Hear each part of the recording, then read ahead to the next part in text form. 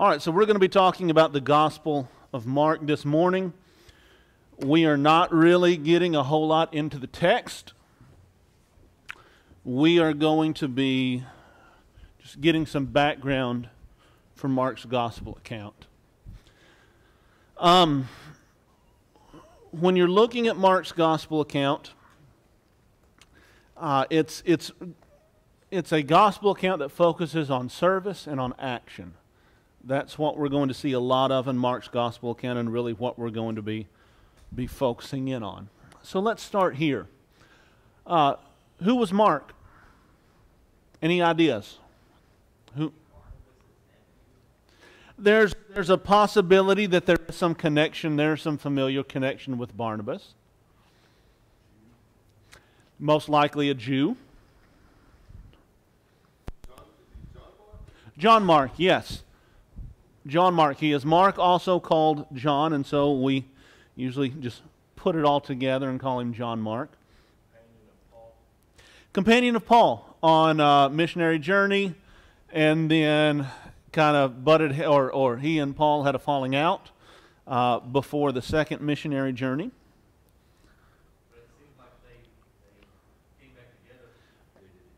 Everything gets, gets smoothed over, and as Paul is at the end of his life, he has a, a very fond appreciation for Mark. That's right. Uh, jump over to Acts chapter 12. Acts chapter 12 is going to give us a little bit of information here. Acts chapter 12. This is one of the times where Peter is in prison, and one of the times where he is miraculously uh, let out of prison. And after he is led out of prison by an angel in verse 10, when they had passed the first and second guard, they came to the iron gate that leads into the city, which opened for them by itself. And they went out and went along one street, and immediately the angel departed from him. And when Peter came to himself, he said, Now I know for sure that the Lord has sent forth his angel and rescued me from the hand of Herod and from all that the Jewish people were expecting. So in verse 12, when he realized this, he went to the house of Mary the mother of John, who was also called Mark, where many were gathered together and were praying. So as soon as Peter is sprung out of prison, where does he go? Okay, he's going to the house of Mary, and Mary happens to be the mother of John Mark. Now, uh, just like we can have multiple people having the same name in, in, in the church here, right? We've got two Deborahs, for example. Um, you have multiple people in the New Testament by the name of, well, yes, John. But in chapter 12, verse 12, multiple women by the name of Mary. That's right. You've got Mary, the, the mother of John Mark. You've got Mary, the mother of Jesus. You've got Mary Magdalene. Okay, so you've got uh, a number of them. And that really is going to help explain later in the gospel accounts where you see multiple Marys at different times seeing Jesus or going to the tomb. And what explains that is you have multiple people who were named Mary. So this is all taking place in what city? Take a shot in the dark, even though we haven't read it yet.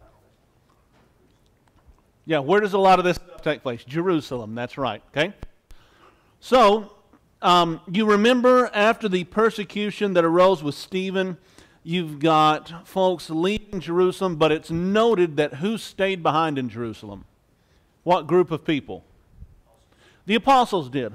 Okay? And so here in Acts chapter 12, here is Peter who has uh, stayed behind for the most part in Jerusalem, and that's going to be uh, seemingly consistent throughout the New Testament until he's going to end up in Rome and who has a home here in Jerusalem? Well, Mary, the mother of John Mark. And as soon as Peter busts out of prison, where does he go? Mary's house, which uh, may begin to tell us of a relationship between Peter and John Mark's family, right? Um, if you're busting out of prison, where are you going? You're go- somewhere safe, somewhere where family is, somewhere familiar, right? And that uh, certainly seems to be what, or the woods, but Peter doesn't go to the woods, Corey. So in chapter 12 and verse 25, Barnabas and Saul returned from Jerusalem when they had fulfilled their mission, taking along with them John, who was called Mark. So he is with Paul and Barnabas on, uh, on a preaching journey.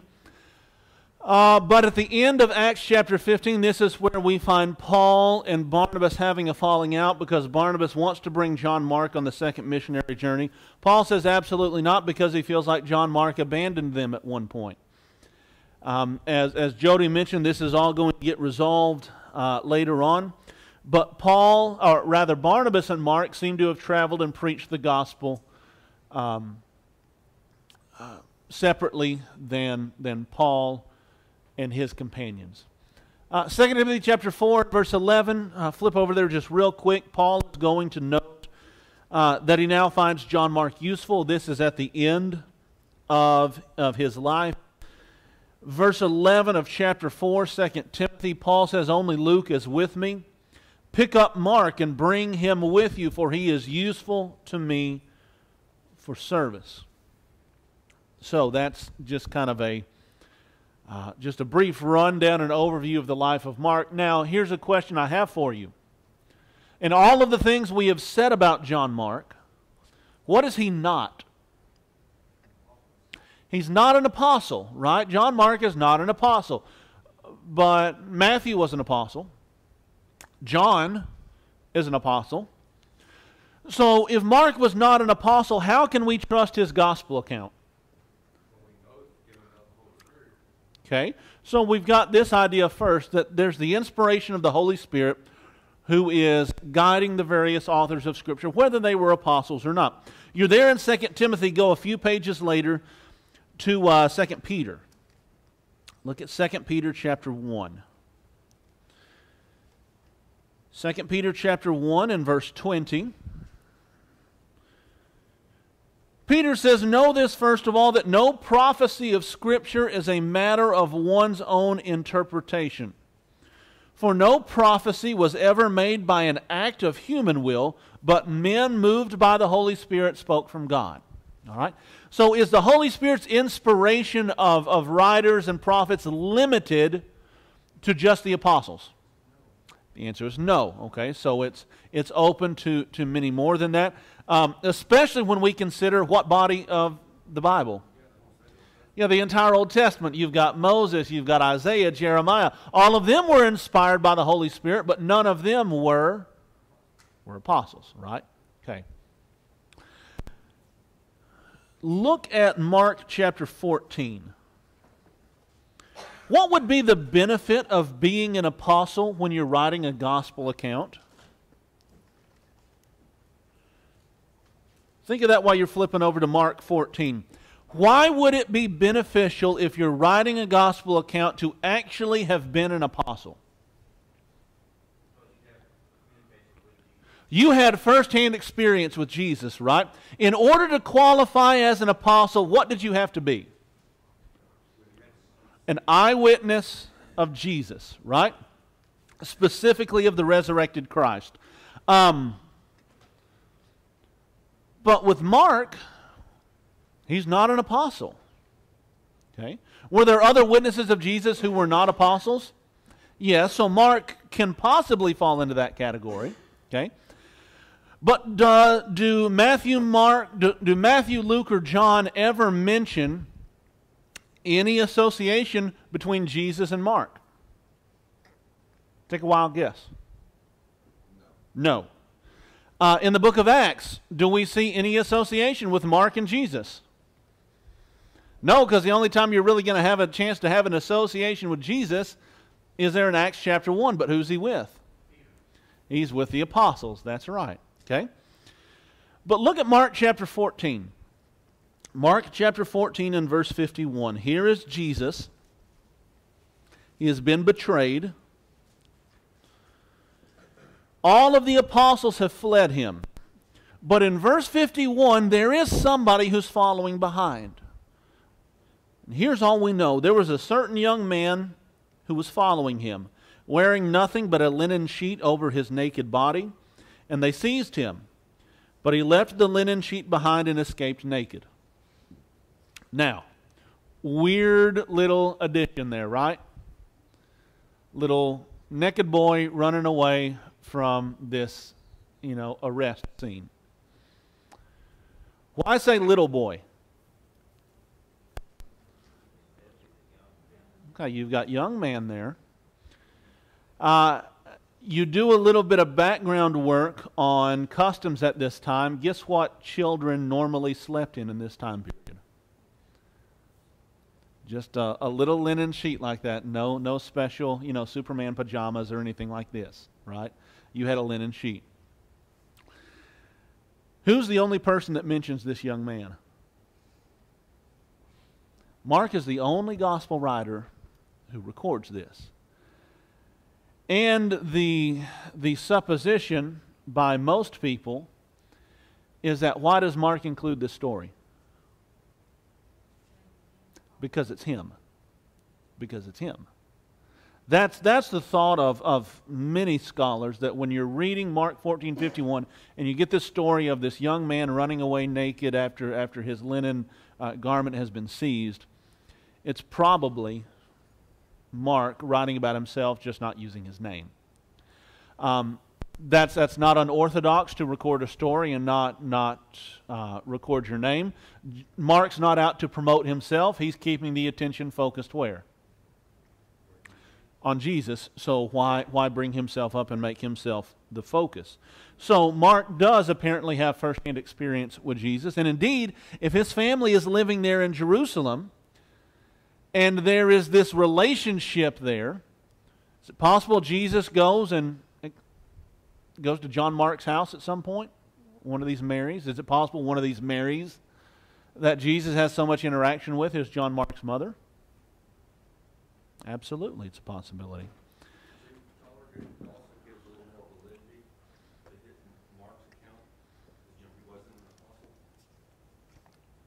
Yeah. Yeah.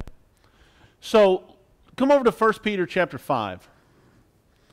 1 Peter chapter 5. Very end of Peter's gospel account.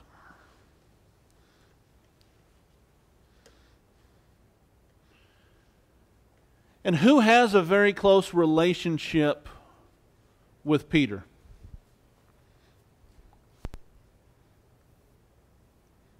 Mark.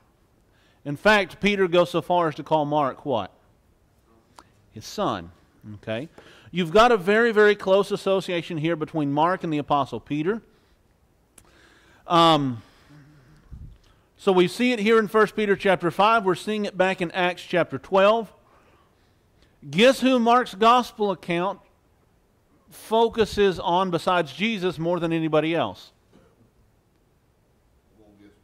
Peter. Peter.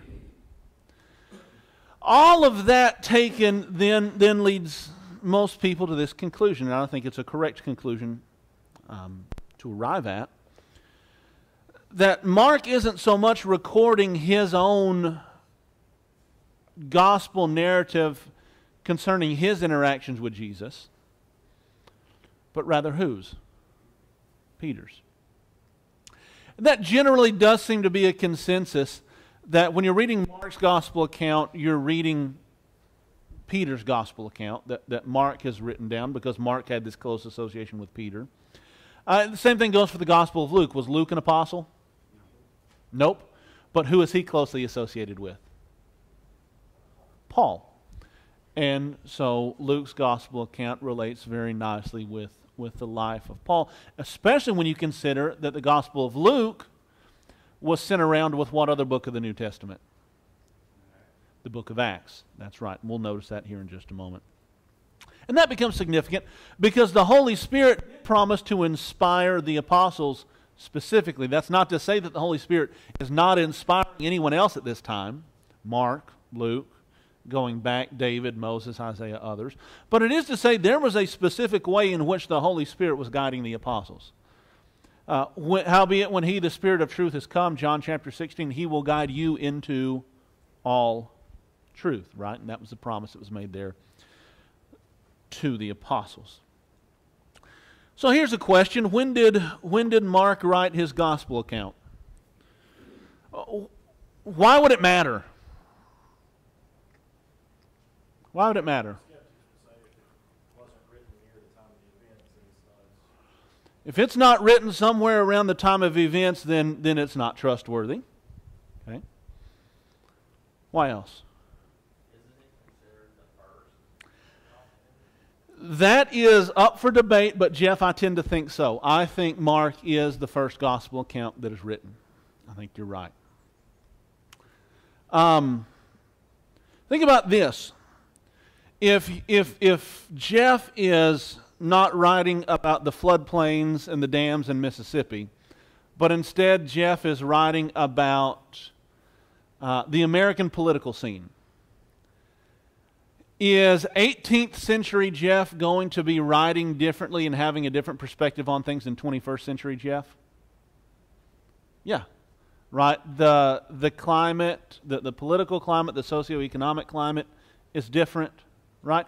depending on when something is written, it's going to reflect more of the time and kind of be reflective of the times, right?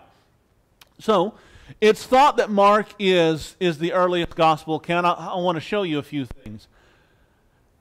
This graph looks intimidating. This is a really, really cool, really, really cool infographic here. Let me break it down for you. Matthew, Mark, and Luke these gospel accounts are sometimes called the what? The what? The synoptic gospels, that's right. Synoptic gospels, literally translated, means one eye. Let me get out of the picture here. One eye.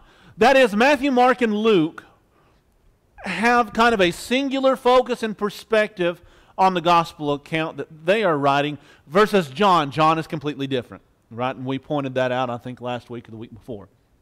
All right. So, what this graph is communicating is similarities and differences just in the text of the gospel accounts. Okay?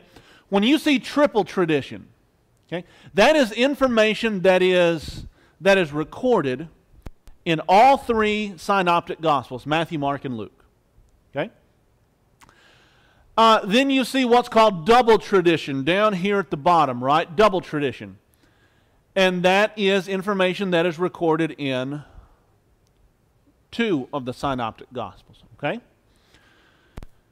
And then you've got here in aqua and over here in green and up here in brown material that is unique to each gospel account. What do you notice, for example, about Luke and Matthew? You've got, yeah, you've got some, some tradition, about a quarter of similarity there.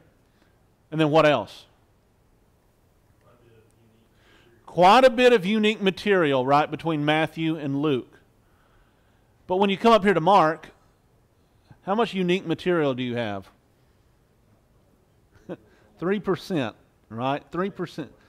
Uh, if I'm remembering correctly, Mark has approximately 660 verses in it. Okay?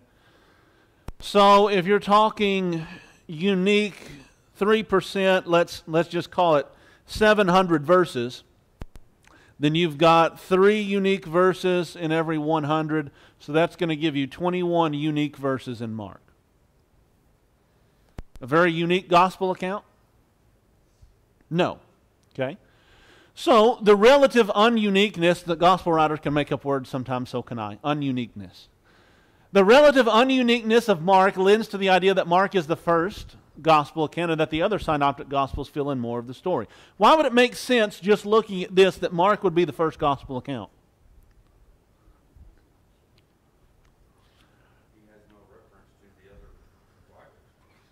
He's not going to be making reference to other books that are already written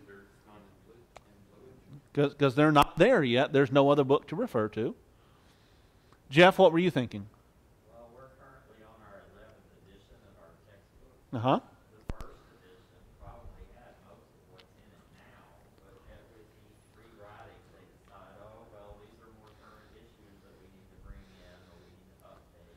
There are different audiences that there's different material that will appeal to them.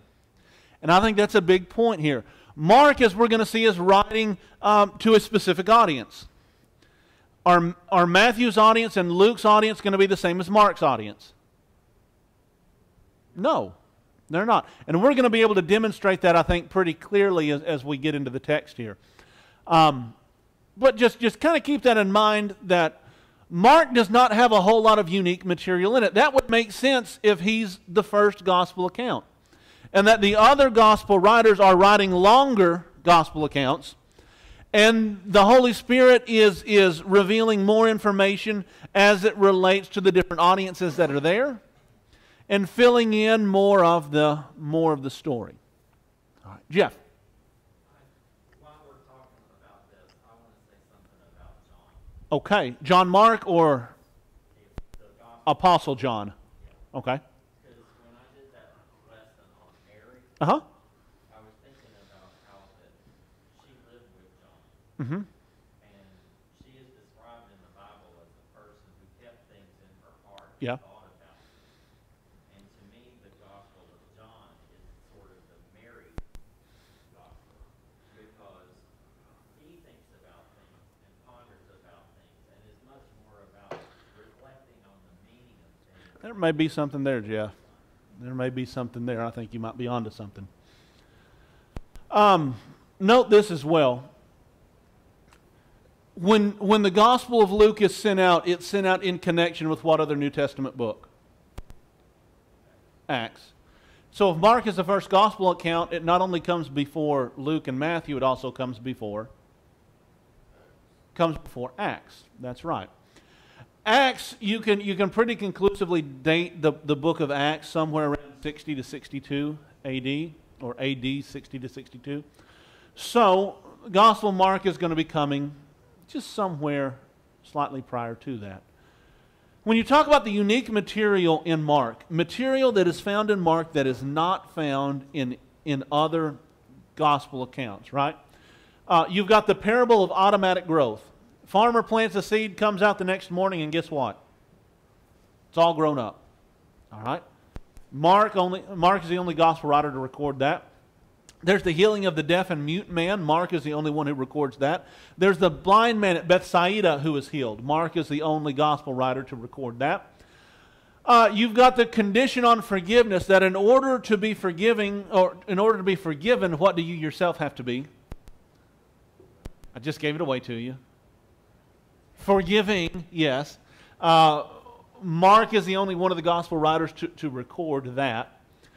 Uh, the young man fleeing naked, we talked about that from chapter 14. And then elements of the Great Commission that Mark records. Uh, certain elements are only found in Mark's gospel account. Okay, so you've got really these six episodes here that are unique in some way, shape, or form to Mark that are not found in the other gospel accounts. Uh, whereas when you go to Matthew or Luke and you look at material that is unique to them, like we have in our prior uh, sermons, there's a lot more there. A lot more there. Yes. Got a question. Okay.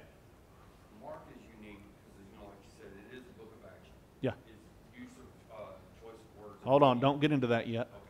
Okay. Okay. Did you have anything else you wanted to say, or were you just going to reveal that? Okay. Hold on to that. All right. So, uh, many are going to date the book from the mid 50s to the early 60s. So, what's going on in the mid 50s or early 60s? Don't say rock and roll and Kent State and stuff like that. persecution of the church Okay. By whom, Tracy? by the, uh, by the, by the Romans, By the Romans. That's right. You want to fill in any more there? Nero Nero. Okay. Anyone else? Clint? Sam? Anything? No? Missionary journey. Missionary journeys. Very good. All right. Y'all ever met Suetonius? Me and him, me and him, we real tight. Got this photo of him, selfie. Here's what Suetonius had to say in uh, Lives of the Twelve Caesars. Since the Jews constantly made disturbances at the instigation of Chrestus, he, that is Claudius, expelled them from Rome. Who is Chrestus? a Jew. A Jew? Christ. But Clint,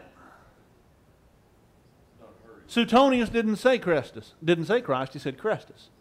Why would Suetonius say Christus?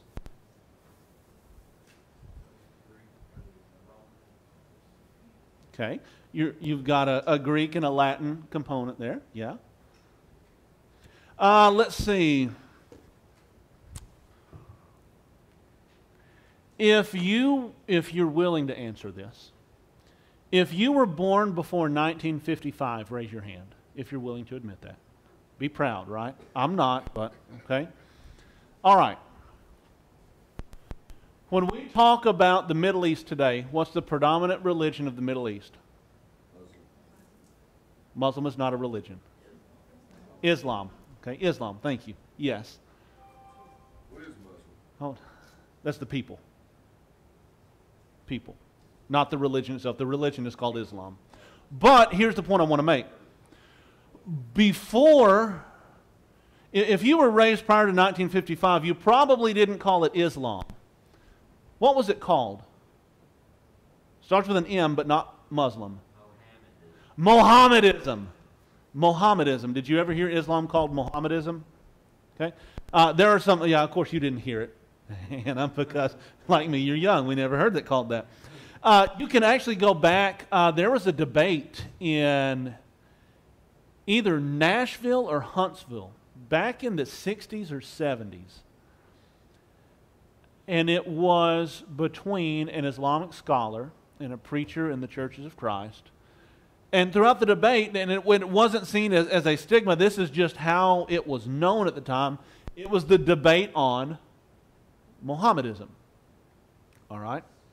Now, it's not called Mohammedism anymore, but we get the point, right? Sometimes names change because of unfamiliarity, right? Same kind of thing here. Is Suetonius a follower of Jesus? Let me give you the answer. No, he's not. Okay? But he is a historian recording what went on. Okay? Is it possible that sometimes when you're just hearing about things that happened, that you're going to record a name a little bit differently than how it actually appears? Goodness, when I go over to Colombia and preach, I'm called all sorts of other names besides Tyler because it's so difficult for the Hispanic tongue to pronounce Tyler. I don't know how many times I've been called Taylor. In fact, uh, two weeks ago when I was sitting in on the Bible study, we have Brother Taylor with us. Well, who's that? Same kind of thing here with Chrestus and Christ. Who is Suetonius writing about? People who followed Chrestus, people who followed Christ. Okay? Um, can you think of something this lines up with in Scripture? Acts chapter 18, verse 2. Why were, um, not Ananias and Sapphira, why were Aquila and Priscilla out of Jerusalem They got kicked out, or out of Rome? they out of Rome. They had been expelled from Rome. Acts chapter 18 and verse 2. What had Claudius done? He found, this is Paul found certain Jews named Aquila, a native of Pontus, having recently come from Italy. What cities in Italy? Rome, with his wife Priscilla, because Claudius had commanded all the Jews to leave from Rome. Well, all Claudius did was tell all the Jews to get out of Rome. He didn't say anything about the Christians. But how did Rome view Christianity? A sect of Judaism, right? It was viewed as a sect of Judaism. And so when they kicked the, the Jews out of Rome, that included whom? That included the Christians, that's right. Uh, that happens around 52, or AD 52, somewhere around in there. And then you've got this. And this is what Tracy was referring to. Suetonius later in Lives of the Twelve Caesars, uh, in talking about Nero, punishment was inflicted on the Christians, a class of men giving to a new and mischievous superstition. Right? That new and mischievous superstition was following a- an itinerant Jewish preacher who they claimed had died and raised from the dead. Right? And you can read about some other um, first, second, third century historians who record things very, very similar to Suetonius here. Uh, the point simply being, uh, under the reign of Claudius, what was happening to Christians? Persecution, hardship. And then into the reign of Nero, you have even more persecution, right? That happens approximately AD 64. So, when you come back to the book of Mark, guess what one of the emphases is? Emphases? Emphases. Guess what Mark emphasizes in his gospel account? How about that? He's going to remind his audience to endure what? Hardship, persecution, and suffering. Why would that be a message that Mark would focus on that maybe Matthew and Luke don't? Because that's what was happening. That's what was happening. Especially when we're going to consider the audience to whom Mark is writing. So, the beginnings of a persecution against Christians, particularly around Rome, fits the context of Mark nicely. Look at these three passages with me. Come over to Mark chapter 8. Mark chapter 8. We got about five minutes left. Let's see what we can fly through here. Mark 8, verse 31. He began to teach them and tell them that the Son of Man must suffer many things be rejected by the elders and chief priests and the scribes and be killed and after three days rise again. He was stating the matter plainly. Peter took him aside began to rebuke him. Peter said uh, the lord says to peter get behind me satan. Verse 34 if anyone wishes to come after me let him deny himself take up his cross and follow after me. Verse 38 whoever is ashamed of me and my words in this adulterous and sinful generation the son of man will also be ashamed of him when he comes in the glory of his father with the holy angels. Verse 36 What does it profit a man if he gains the whole world, but he loses his own soul? Look at Mark chapter 10 and verse 29. Mark 10 29. Jesus said, Truly I say to you, there is no one who has left house or brothers or sister or mother or father or children or farms for my sake and for the gospel's. Verse 30 but that he shall receive a hundred times as much now in the present age houses and brothers and sisters and mothers and children and farms, along with persecutions, and in the world to come, eternal life. And then look at chapter 13. These are just three examples here, but Mark chapter 13. Mark chapter 13, beginning in verse 1. This is um, Mark's recording of, of the Olivet Discourse. What wonderful buildings, verse 1. Jesus said to them, verse 2, All of these stones will be torn down. Verse 5, Jesus began saying to them, See to it that no one misleads you. Many will come in my name, saying, I am he, will mislead many. And when you hear of wars and rumors of wars, do not be frightened, for those things must take place, but that is not yet the end. Verse 9 Be on guard, for they will deliver you up to the courts, and you will be flogged in the synagogues. And you will stand before governors and kings for my sake as a testimony to them. Verse 11 When they arrest you and deliver you up, do not be anxious beforehand about what you are to say, but say whatever is given to you in that hour, for it is not you who speak, but it is the Holy Spirit. Brother will deliver up brother to death, and a father his child, and children will rise up against parents and cause them to be put to death. Verse 13. You will be hated by all on account of my name, but it is the one who has endured to the end who will be saved. So, do we see Mark writing in a context of persecution and preparing his audience for hardships that would come? These three passages, and then more that we'll note in the book, yes. So, here is your assignment for next week. Okay? Now I'll also take a copy of this slide and, and give it to Cody so that when we send out our, our email this afternoon, it'll be on there. So you don't have to sit there and scribble down all the questions. But here they are. Five questions for next week. Number one, and if you know this already, do not shout it out in class right now. Okay? Number one, what word does Mark use frequently throughout his gospel account? For example, Book of Ecclesiastes, Nineveh. What's our repeated phrase in Ecclesiastes? Do you remember? Vanity of vanity, all is vanity and grasping for the wind. That's right. Okay? Uh, in 1 Corinthians, that somebody made reference to this morning, 1 Corinthians, what was our dividing phrase in 1 Corinthians? Do you remember? I'm going to go back and teach all 18 months of 1 Corinthians again if you don't get this right. Now concerning, remember? Now concerning, Paul says that I think six times there. Okay? So, what word does Mark use frequently? Uh, what does Mark's use of that word communicate about his gospel account? That's what I want you to think about, too. Number three, I want you to find when Jerusalem is first mentioned in Mark's gospel account. Find when Jerusalem is first mentioned in Mark's gospel account. Number four, find when the temple is first mentioned in Mark's gospel account. And then number five, what might the answers to questions three and four reveal to us about Mark's gospel account? Okay? Those are your assignments for next week. Okay? Yes, Clint. I was just thinking, Ken, on the, uh, Jew and issues with Rome and stuff like Uh-huh. that. You know, they could be called, most of the Christians could still be called Jews because of their ethnic Yeah, origin. Mean, absolutely. So you could be a Jewish Christian that's a Christian, that's not practicing Judaism, but they're still going to call you a Jew, right? Yes, sir. I think that's a good point. And then, what I want you to do, read chapter 1 for next week. All right? Questions, comments, gripes, complaints, concerns, critiques? Clear as mud? All right. Appreciate it, guys. They will be dismissing the class.